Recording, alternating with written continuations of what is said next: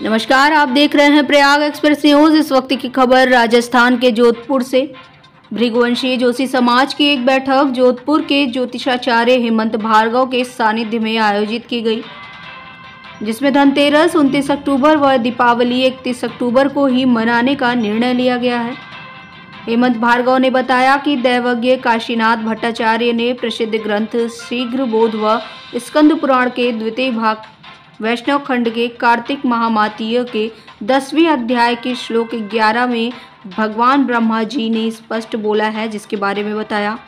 दीपोत्सव के समय यदि प्रतिपदा दिख जाए तो उस दूषित तिथि को रजस्वला की भांति त्याग कर देना चाहिए। ग्रंथ अनुसार व विद्वानों अनुसार इकतीस अक्टूबर को ही दीपावली मनाना अति शुभ है। ग्रंथ के अनुसार धनतेरस या कुबेर पूजन 29 अक्टूबर को ही माना जाएगा। प्रयाग एक्सप्रेस न्यूज़ के लिए राजस्थान के जोधपुर से संवाददाता प्रकाश जोशी की रिपोर्ट। आज के दिन भट्टाचार्य के प्रसिद्ध ग्रंथ शीघ्र ब्रोध में व स्कंद पुराण के द्वितीय अध्याय वैष्णव खंड के कार्तिक मामाते के दसवें अध्याय में दीपावली के बारे में ग्यारहवें श्लोक में श्री वर्मा जी ने स्पष्ट कहा है कि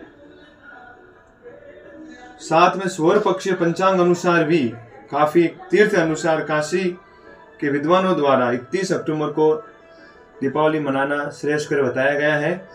और इन ग्रंथों के अनुसार भी दीपावली मनाना 31 अक्टूबर को श्रेष्ठ कर मनाया गया है, बताया गया है, क्योंकि इन ग्रंथों के अनुसार अमावस्या और एकम तिथि को कहा गया है, दीपोत्सव वेला या प्रतिपद दृश्यते यदि सा तीर्थी वी बुद्धेस्त जाया यथा नारी रजसवला। यानी कि अमावस्या और एकम दोनों अगर साथ आते हैं तो उस तिथि को त्यागना ही श्रेष्ठकर है। वो खासकर दीपावली के समय में। तो हम समस्त भृगुवंशी ब्राह्मण ने ये निर्णय लिया है, आज के दिन कि 31 अक्टूबर को ही दीपावली मनाई जाए।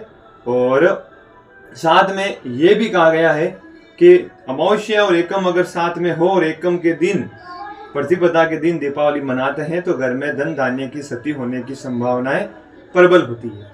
अतएव सभी 31 अक्टूबर को ही दीपावली हर्षोल्लास के साथ मनाए, क्योंकि दीपावली पूजन हमेशा से वर्षव और सिंह लगन जो महत्वपूर्ण माने जाते हैं, वो दोनों अमावस्या के दिन ही माने गए हैं और अमावस्या में सायकाल और रात्रि काल में ही माने जाते हैं।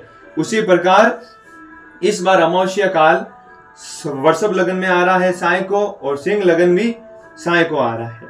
अतएव 31 अक्टूबर को आप सभी दीपावली मनाएँ। जय श्री कृष्णा, धन्यवाद।